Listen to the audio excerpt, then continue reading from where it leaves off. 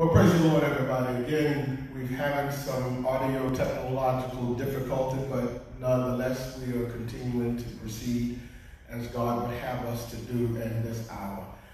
Our scripture is found in Acts chapter 1, verse number 11, 8 through 11. And uh, this has to do with Jesus' departure. Uh, Jesus departs earth as he proceeds back to heaven. And here we want to talk about from these medley of scriptures a paradigm shift, a model, and a way of doing something. My brothers and sisters, I want to not only say what we are looking at dealing with today, but we are also considering the fact that this is our Second Baptist Church uh, 75th anniversary. Uh, what a joy and privilege it is to stand today in acknowledgement from whence the Lord has brought us from. And it's because God has been good to us. He has been by our side. He has provided for us over the years. I'm just privileged to be the third part of what God is doing in the whole.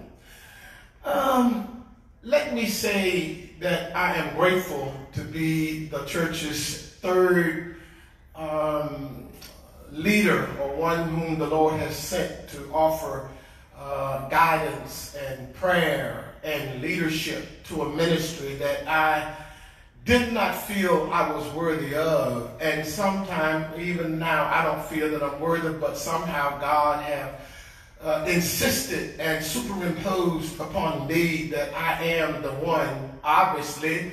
Uh, if you've been anywhere hanging around long enough for more than 25 years, then there has to be some divine purpose and reason why God has done what he has done. And so here it is today as we lift to celebrate this 75th anniversary. As we talk about, well, what then, Reverend, will you say relative to this uh, 75th anniversary? Just hold on. Can I put a comma there for a minute? I'll come back to get you, I promise you. But while also this is something that I have been following the timeline of Jesus as it pertains to the marking of Ash Wednesday and then moving all the way uh, to where we are today. And I might add that here we are on the 37th day after Jesus' uh, uh, being raised from the dead, uh, Jesus' resurrection. That's what I was trying to say. And all that has taken place since his resurrection has seemingly to me been all a part of the preparation that is going to be required and what is essential and what is necessary for the kingdom of God to continue to move forward. And what I have discovered more than anything else that in this timeline, God has allowed me to see some stuff and things that I ain't never seen before. And might I add, I've been moved, I've been baffled about what God has shown me as it relates to the revelation of God. And even as we have moved in this timeline, I believe God has spoken parenthetically about what it is that he's trying to say to us. And then what is our module for reception and receiving what God has to say?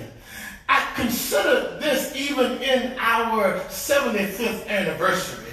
I consider even walking the timeline of Jesus. And now Jesus stands here 37 days according to the book of Acts, where it did say that he was seen by his disciples for 40 days. And when you mark the trail, when you follow the trail, it will lead you, it will cause you that as of this day, allegedly, that Jesus had been moving for 37 days. Might I add, the trilogy of God, it always seems to come up. Now, how is it that here we are today?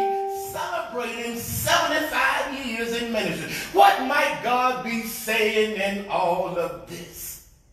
I'm glad you asked. Three more days, Jesus will ascend according to the timeline. In, in other words, he's going to go back to the Father. And I want to suggest that what might have been some things that Jesus said upon his departure. Uh, what might have Jesus been saying back to his disciples and all of those who were looking up at seeing Jesus being raised into the cloud?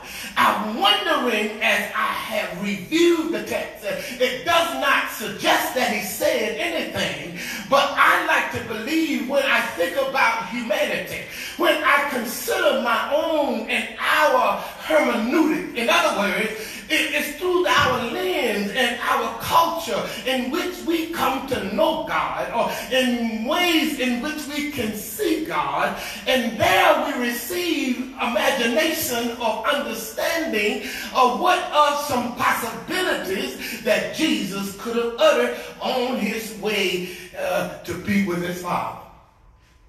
Let me hasten down or slow down a little bit to say what I really want to talk about in the combining of our celebrating 75 years and then to mark the trail of Jesus going back to be with the Lord. What does this all mean? I believe, number one, that for a controlling thought that Jesus was trying to introduce us or trying to help us to see that he has only put in place during his 40 days of how he was seen with his disciples and all of the lessons to be gained and learned from doubting Thomas all the way to his half brother James, who did not believe in him first up front as they were growing up. But after the resurrection, James seems to find some reason of validity to believe in his earthly brother who he did not know or understand pre-resurrection.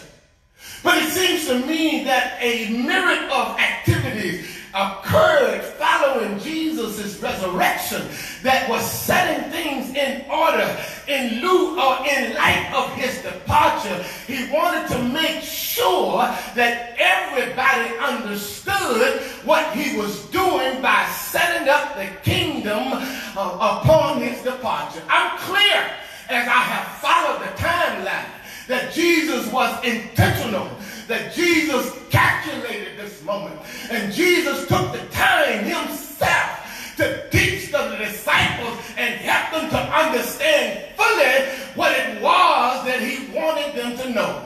Thank you, Jesus. And when I talk about a paradigm shift, it's interesting. I'm sure you want to know what do you mean, Reverend, a paradigm shift?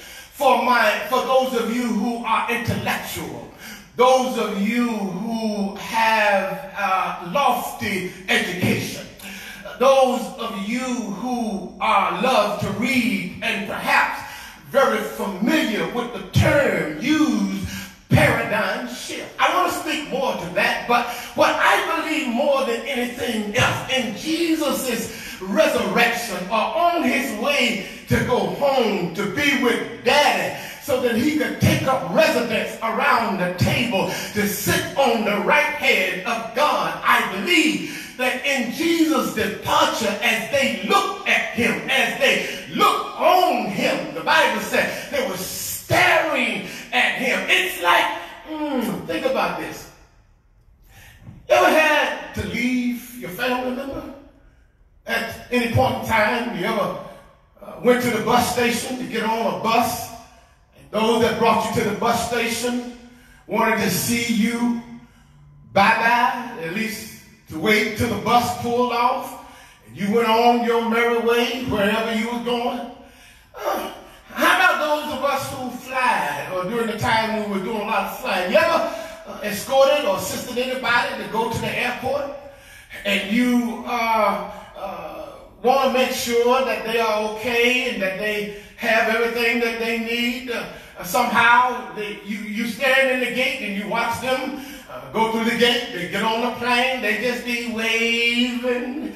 They go on to the plane and find themselves a seat while they are getting prepared on the tarmac. While they are uh, getting ready to lift off, you're still standing looking out the windows in the airport and you, you maintain view of that plane that they got on. And you see them go to the tarmac to get instructions to pull off from the tarmac and at the air traffic control give them their sequence number of flight of departure. And while you still remain in the airport gazing and looking at that particular aircraft that they have, your friend of your neighbor of your loved one is sitting on. And it's amazing how we stand there because some of us and our loved ones assisting them to leave, we feel this sadness that come upon us. We feel somewhat burdened because they are leaving us and somehow we our feelings and love and regard for them,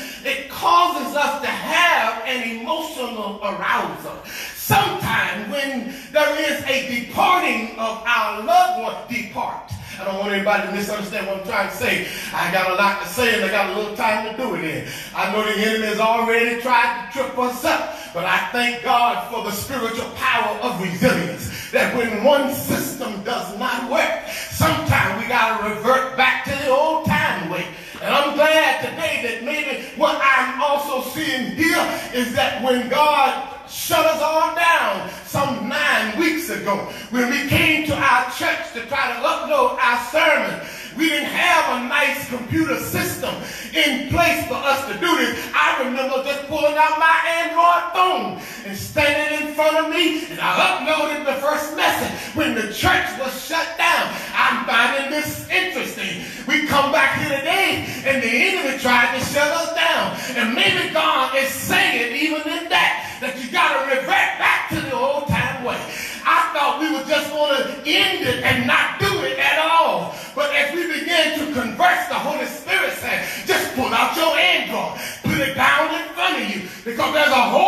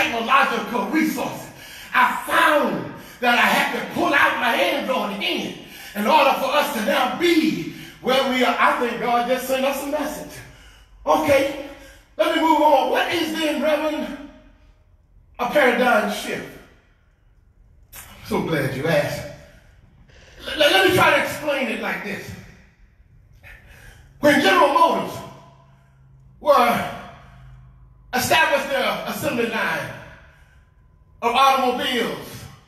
I'm going all the way back to the T Model Ford days. Even then, there was a time in how we used to get around with a, a mule and wagon, a horse and a buggy.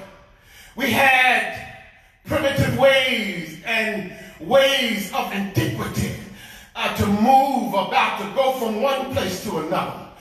But when General Motors decided with their modern day technology and with their workforce, uh, they was able to provide uh, on the assembly line automobiles that now people no longer have to sit in a buggy and ride behind a mule. But now in the assembly line of General Motors, putting out T-model Fords, and now people who were wealthy and was able to get an automobile now found themselves riding in comfort, even back then.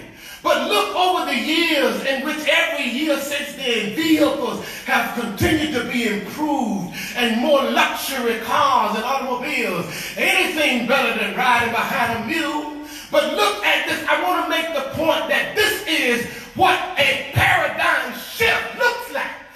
When you can move from riding behind a mule, oh God, and now operate in a T-model Ford, even then. But you know we got Rolls Royce, Cadillac, BMWs, Saab, Lexus. We have got all kinds of comforts of evil. That in itself is a paradigm shift. Why, why is it a paradigm shift? Well, a paradigm shift is the means in which the current way you have been operating, the current way in which you have been doing things. Uh, paradigm is the position in which we are now operating. But the shift comes when we think of new ways and nuances in this uh, uh, uh, social media age. When we think of teleconference, YouTube, and all other mediums that are now available for us to use. And maybe God, in this church anniversary, in this 75 years of celebrating our Lord, for which what he has allowed us to be, that God has only allowed uh, so that we can experience a paradigm shift. Can, can, can I use another example? Because I want to make sure that you are with me today. We've gone through too much hell already to not be clear and take the time and be methodical and be insightful of what God had laid on my heart this week. And I've been pondering, I've been meditating. What will you say today, Reverend? I'm glad you asked. Well, I gave you the instructions about General Motors and the assembly line as it relates to making automobiles. But can I bring you to a more relevant reference? It was since the shutdown. I didn't even realize that ventilators was even used in the hospital. But upon this shutdown, the president had to enact the Production Act. Oh, God, help me to General Motors, the same example that I used from a T-Model Ford to a Mercedes-Benz Cadillac. That, it may not be congruent. Well, just get the picture. Ah.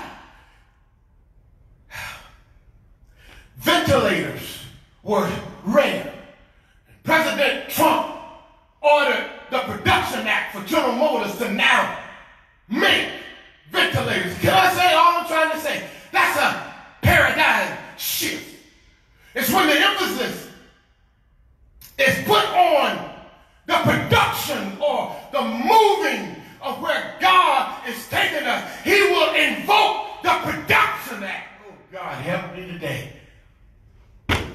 And it is here that I want to purport that God is saying to us that on our 75th anniversary, God is saying to us, even on the closing or the ending of this timeline, his walk on this alleged journey, 37 days later, here we are. Jesus is now getting ready to go back to be with the Lord. 37 days later, he has come to grips with all that he has tried to do to prepare his disciples for this paradigm shift. And do you know, in three more days, Jesus is going to get up out of here, y'all. I'm glad that I have tried to be faithful in following the timeline because he's shown me some stuff I ain't never seen before. And I'm glad today that when the enemy comes in one way, the Lord will lift up a standard against him, and he has to flee seven ways. Get the running and stepping. Satan, we going on anyhow. So what more can you say about this paradigm shift? I want to offer an historian, an individual by the name of Thomas Kuhn, who is known in the science arena. He was a physicist. Yeah, a physicist and he was a philosopher. He was known for his uh, brilliance or his scientific understanding. It was Thomas Kuhn who penned the idea of what it is to know or be in or understand a paradigm shift. And I'm glad for him because he has great credibility among uh, scholars and the understanding of science that was able to impart unto many of us what that means. And I thought to use today as a caricature or a working definition of Thomas Kuhn about the understanding of science and being able to recognize any method or model we have currently in place, that there comes a time when we have to relook at how and why we do what we do. And there are ways in which we can purport or we can allow and participate in a paradigm shift. Paradigm shift does not come just because we want it to, but paradigm shifts come when things change when, when resources are no longer available, when the church doors have been shut down, when we can no longer operate as we used to, and more important for the church, God is saying a paradigm shift. How God. And so, my brothers and sisters, I come today as Jesus picks up at the text in Acts chapter 1, uh, begin around verse 8, it is here we find that Jesus is now replacing Judas with Matthias. You know, the lot fell on Matthias to make the difference and to replace Judas, who was the one uh, that took his own life because he betrayed Jesus.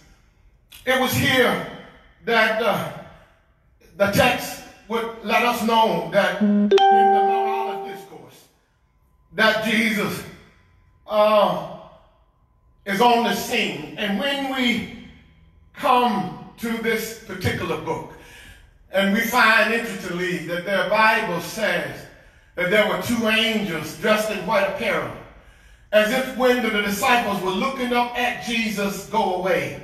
I'm sure their hearts were moved and touched. They were emotional.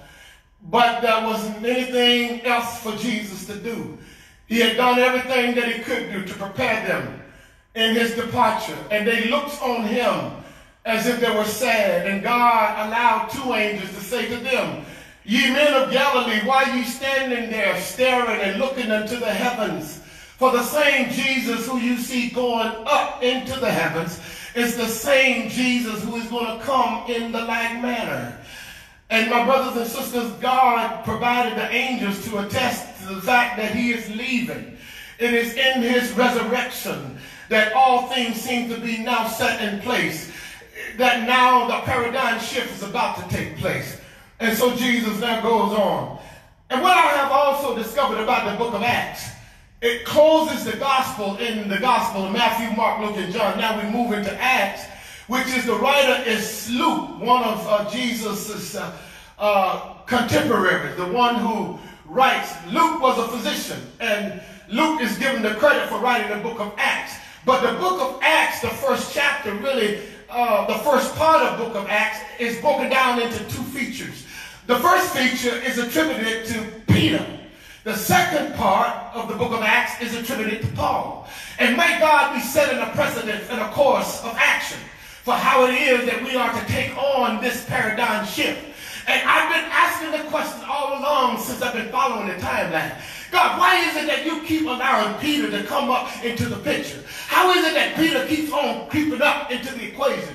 How is it that impetuous Peter, Lord, keep on. You, you did ask him three times how much did he love you, and he got frustrated with you asking him that. But God, you had a reason for asking him that. He denied you three times. He denied you, and the, before the crow, the rooster crowed three times, he was going to deny you. Peter, uh, has many uh, uh, references that he was not worthy. But the main thing that stands out about Peter, early on in the gospel, we find a conversation with Jesus and Peter. And it was Peter who establishes who Jesus is. And Jesus was pleased. Jesus applauded the revelation. He says to him, Flesh blood have not revealed to you, Peter, but my Father, I believe that on the basis of Peter's response of his confession about Jesus caused Peter to now soar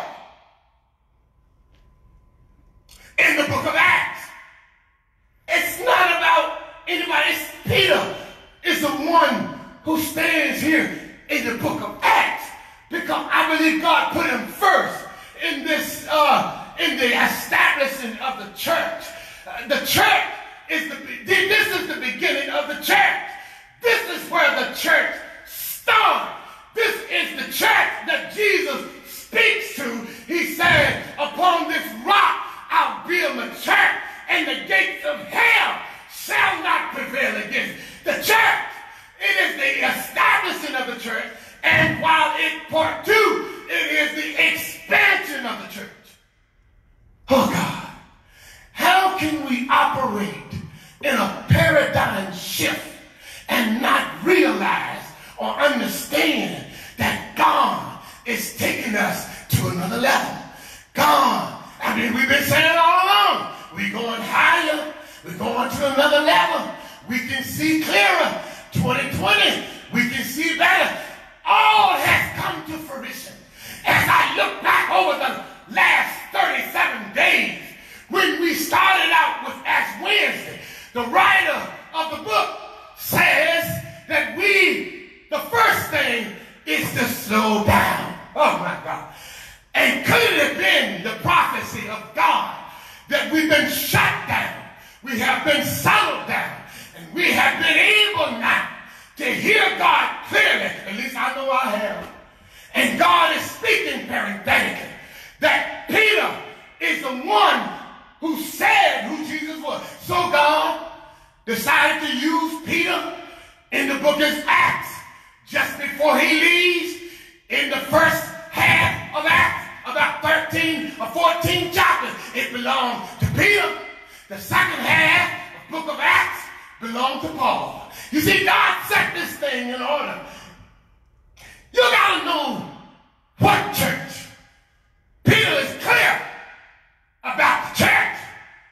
It's not the temporal church anymore. Oh, in some ways, it's never to go away.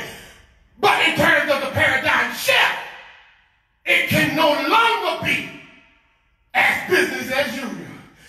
Why didn't God, would you call for Second Baptist Church, 5100 West 100 Road, that all we've been through, that here today, Second Baptist Church get to celebrate 75 years of ministry.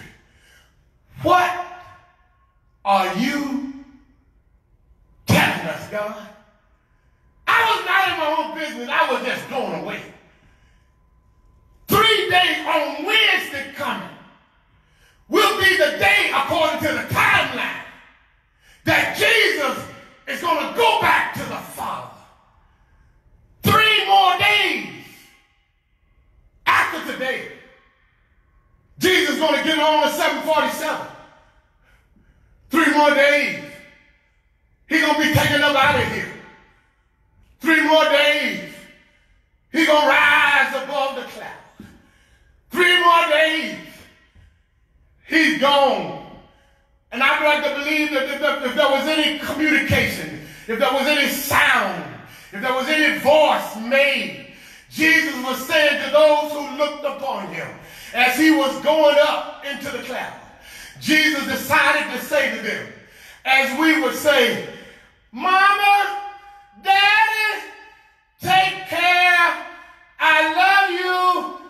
See you when you get back.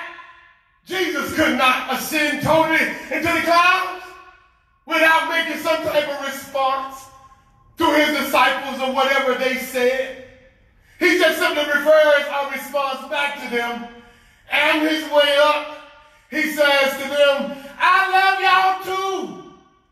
Get ready for the next move of God. Get ready for the paradigm shift. And there he goes. I've been wondering, God, why Peter keep coming up? I've been wondering, how is it that you keep showing me the trilogy of God? Here now on the day we celebrate 75 years. Uh, three days from now, Jesus gonna go. I'm, I'm getting something out of that. God the Father, God the Son, God the Holy Ghost. In three more days will be the end of Jesus being seen with his disciples. And as you know, 10 days following that, that the Comforter, the Holy Spirit, comes. And it lands on each of them who are waiting in the upper room. Tap your neighbor and say, Are you in the upper room? Are you waiting for this paradigm shift? Are you waiting to receive the true value and benefit and blessings of God? Yeah. Here's something else. 75 years in ministry.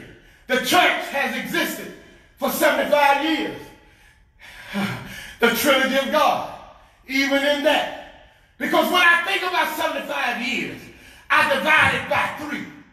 And when I divide it by three, it comes up 25, 25, 25 equals 75.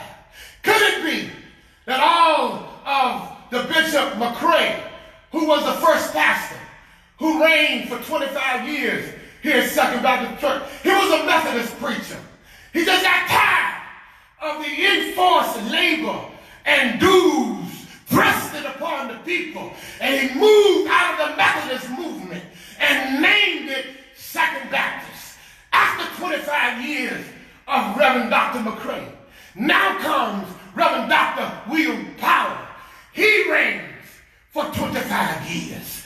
God is saying something. The Trinity of God.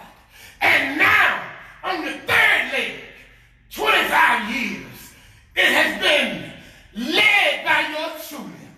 I've only been able to do what the people have allowed me to do. I wasn't always ready, always prepared, and sometimes seems like I still ain't. But God is good, and His mercy endures to all generations. I'm glad today that trouble don't last always. So what is your response? What is you trying to say, Reverend, in this Trinity of God? Reverend McCray, Reverend Powell, and yourself? Could it be? I've been here for 26 years, I might add.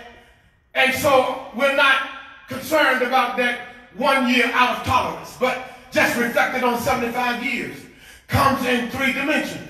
God the Father, God the Son, God the Holy Ghost. 25, 25, 25 equals 75. And maybe through their leadership over the years, down to this present moment, they have only moved the church as far as God allowed them to move it. But now yours truly has been here for the last 26 years. And the uh, COVID-19 has crept in. Uh, Corona-19 has caused us to reshape and rethink our models for ministry. Business is no longer as usual. Oh yeah, I know folks still gonna come to church, but the church that God is purporting for us to reach through cyberspace, through Zoom, through telemedia conferences, YouTube, Twitter, and all other social media resources. It's a new day.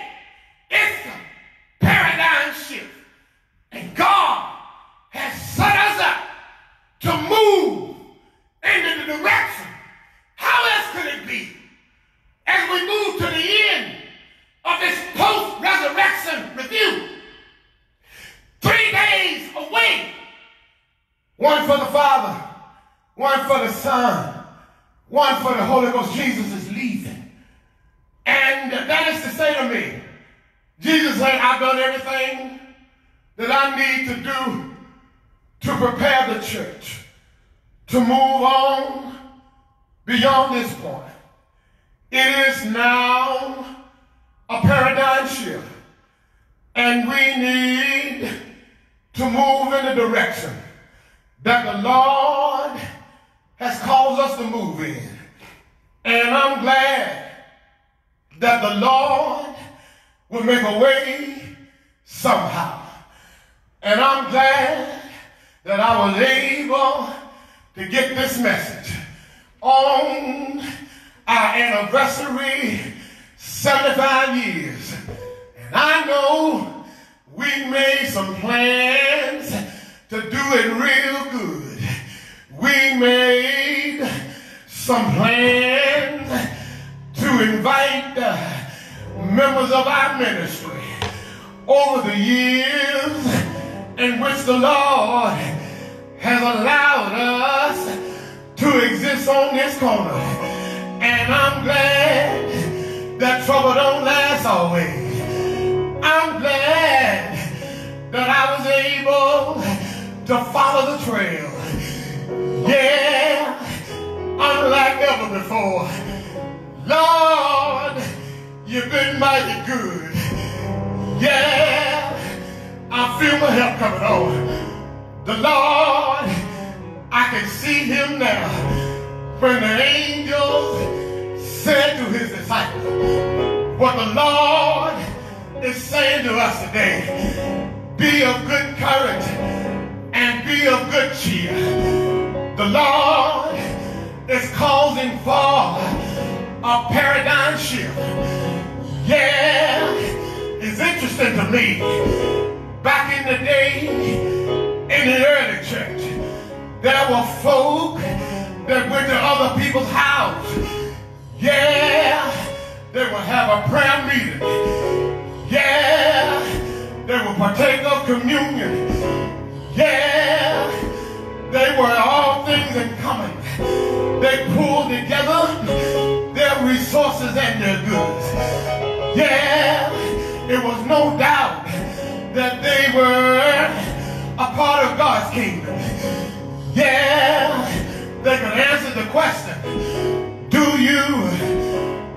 Asked, do you love me? Feed my sheep. Do you love me? Take care of my sheep. Do you love me? Feed my little lamb. Yeah, the early church, they brought their good. They laid it at the feet of the apostles. Yeah, you know Ananias and Sapphira, don't they? Yeah, they brought their they withheld the truth. Well, they didn't need to be uh, dishonest about their own belonging. It was theirs all they had to do was just give it up. Yeah. I don't want to take much more time. I gotta leave you now. That's what Jesus said to his disciples. I gotta leave you now. All right. Won't it do it? Didn't it do it? Yeah. Yeah. We're getting ready. Get ready, Second Baptist. We're in a paradigm shift. Yeah, we will do our best to do what the Lord has called us to do. Yeah,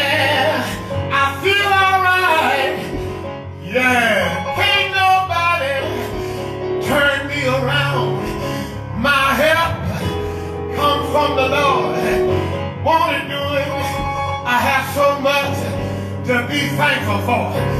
Yeah. What are you thankful for, brother? He woke me up this morning, started me on my way. Yeah. All of my family are yet still here. The family chain has not yet been broken. Yeah. I have so much to be thankful for.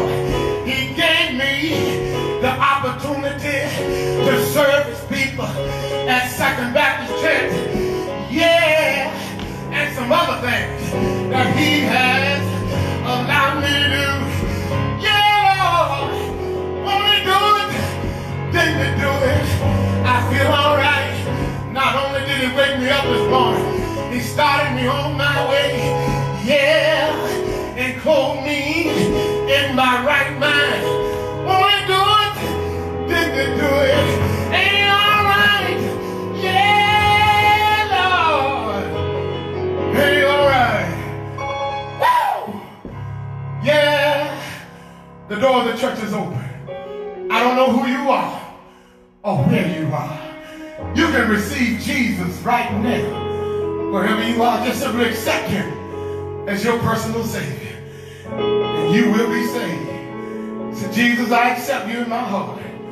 I'm a sinner, saved by grace. If you desire to be connected with this ministry all over the world, you can. We can oblige. We can accommodate. My brothers and sisters, I have to say that this did not start off the way that I thought it was going to start off, but it ended up good. Anyhow, maybe I didn't say everything that I wanted to say, but I think I said what needed to be said. I want to say congratulations to Second Baptist and our observance of 75 years in ministry. And I believe God has even greater works for us to do in days and months and years to come. I'm privileged to serve this ministry. I'm honored and privileged to, to serve all who makes up the family and the kingdom of God all over the world. And so I'm blessed today. Thank you for your indulgence.